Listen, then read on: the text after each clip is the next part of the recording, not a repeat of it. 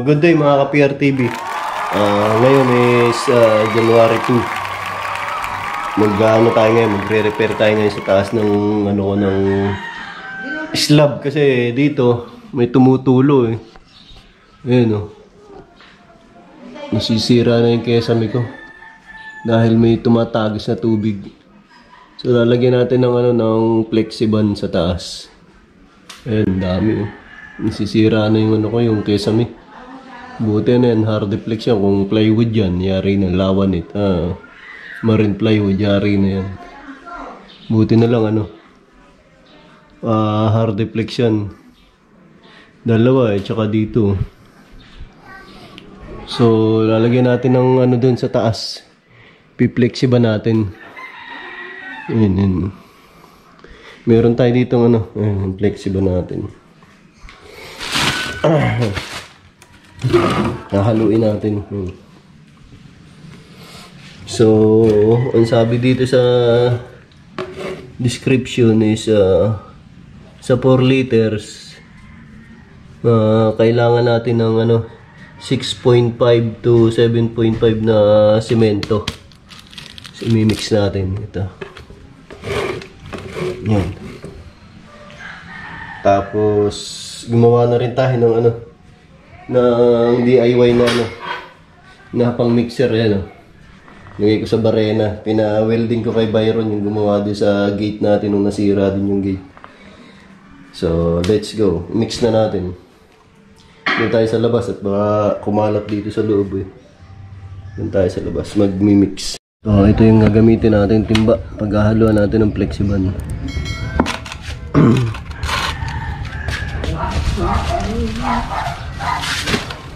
Buksan. Sirain ko.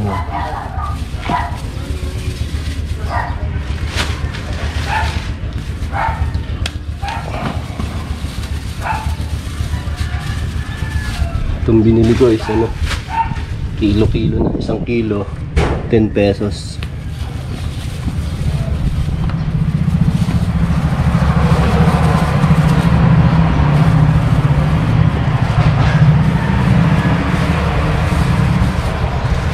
Yung flexible natin is 800 870 yata ito. Nakalimutan ko na basta 800 plus. Dati nung una ano lang yan? Uh, 712 tapos meron tayong brush. Ito yung gagamitin natin brush. Bili ko lang din ng 49 pesos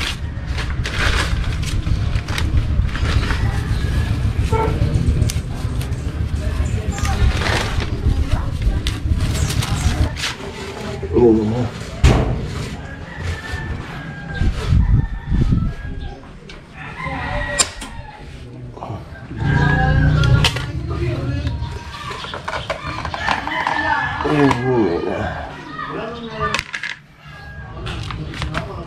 So, isali na natin.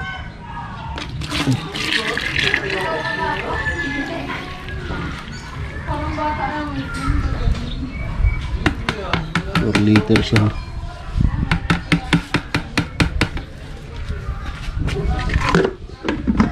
Sana wag umulan.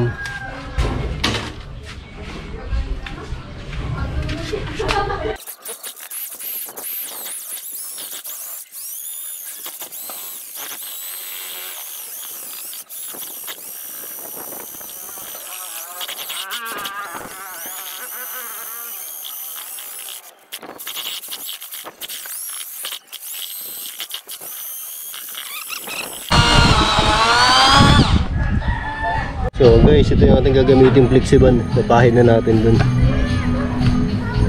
Dito tayo magsisimula.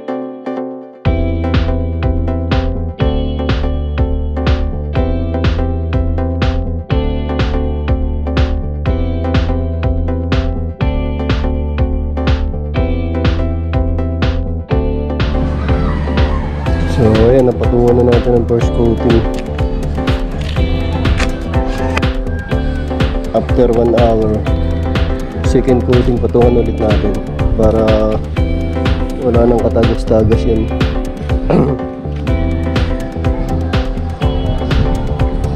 Pa-dry muna natin after 1 hour. So, andito na ulit tayo. Magsi-second coat na natin to. So, second coat na natin yung ating flexiban. Nagbitak-bitak oh.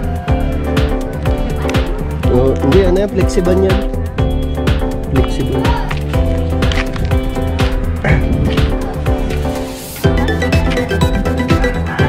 Natulo, napilas eh. Ayun oh, kaya ganyan yung tapal-tapal mo. Ito, pinasimento ko rin to.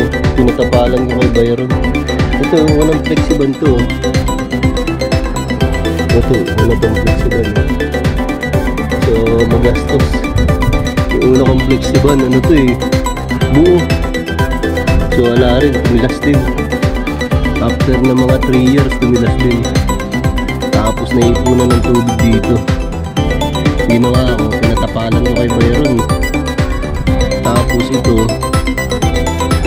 itong pinatapalan ko na ito, kaya nagkagani-ganito ito. Dahil natutubigan, naipunan ng tubig dito. Natiim, natiim yung tubig.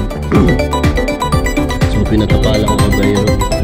Ganun pa rin, tumitilas pa rin. Hanggang sa ganyan, hanggang tagpi-tagpi na. Ayun. Kaya kung magpapa-stab kayo, huwag niyong hayaan na ganyan naka-open. Pabubungan ninyo pag ano, pansamantala lang kung hindi niyo mapapataas ka agad yung ano, yung second floor kasi mapiperde, napiperde yung ano, maraming naperde ito. Perde ko na, pangatlong lagay ko na ito ng flexiban dito. Pangatlo na ito. Yung una buo, tapos pangalawa, tinapalan ko yan. Tumilas pa rin. Tapos ngayon, pinalagyan ko niya simento na yan. Tumitilas pa rin yun. Kaya ito, last, pangatlo na ito. Pa second coat ko na to. Kaya ito, tagpi-tagpi na oh. Dami na perde. Napiperde yung ano. Ito to. Una pa rito, flexiban ko rin to.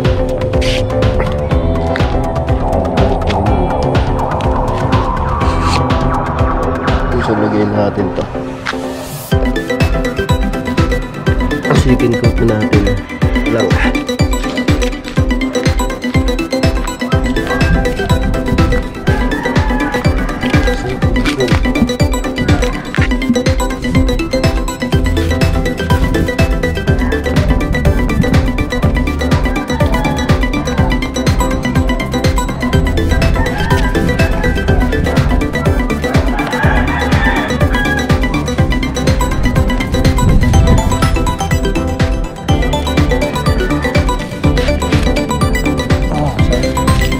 Sa Verde sa, sa materials.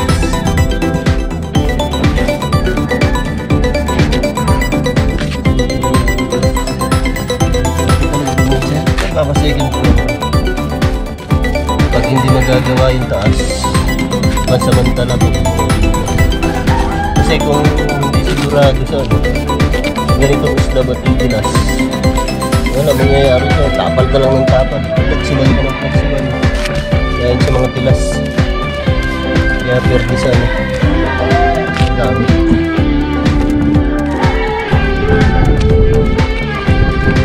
Dapat talaga diretso na. Hindi mo ano nga, gagawa ka second floor. Pansamantalang pabubungan.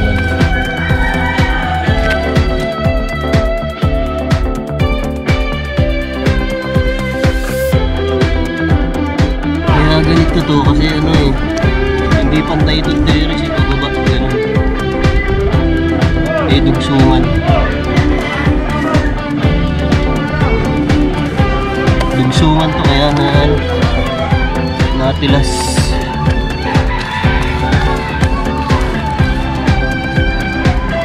Dapat to diretso. So, ayun na guys.